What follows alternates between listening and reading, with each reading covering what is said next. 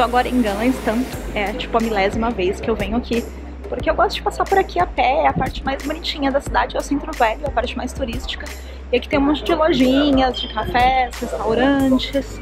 E é uma ilha bem pequenininha, então dá pra passar, atravessar ela a pé tranquilamente. E é fofa, então toda vez que eu tô por aqui, eu acabo passando aqui pra, pra apreciar a paisagem.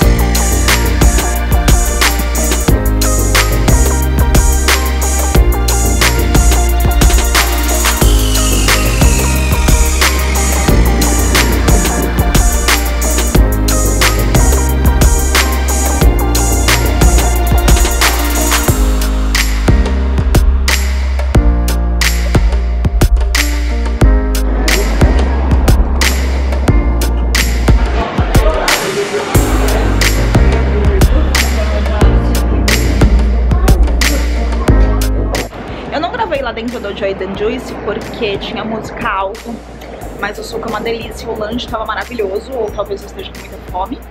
É, a única aventura de pedir o suco é que o cardápio é todo em sueco e não tem cardápio em inglês. Por mais que eu saiba algumas coisas, eu acabei pedindo esse aqui que chama, acho que Pick Me Up. E era o único que eu consegui identificar todos os ingredientes.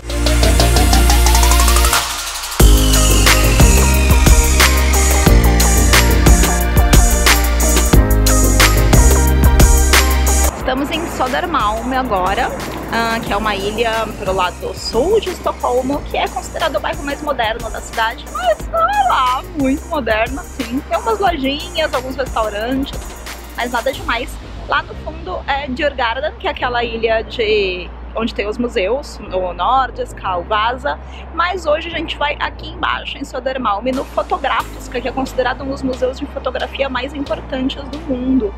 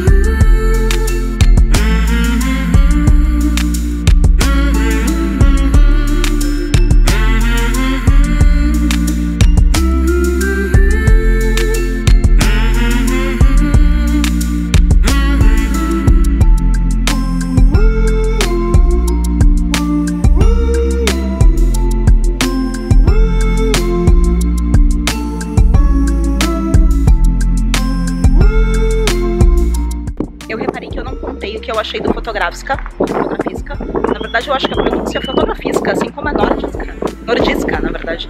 Mas eu acho meio estranho, então vou falar Fotográfica mesmo. É, eu achei que... Eu gostei Resumindo, eu gostei, achei bem bacana a curadoria, achei uma coisa bem legal que não são só as fotos que ficam expostas, e assim, os ambientes de cada exposição tem uma música ambiente combinando com o tema da exposição, achei bem bacana, isso fica bem interessante é, mas ele não tem uma coleção fixa. São sempre algumas exposições temporárias que estão lá. Isso eu achei estranho, dada a fama do museu, que é um dos museus de fotografia mais conhecidos do mundo. É, ele não tem uma coleção fixa para expor. Mas as quatro exposições que estavam tendo ontem eram bem legais. E, enfim, eu gostei muito do museu.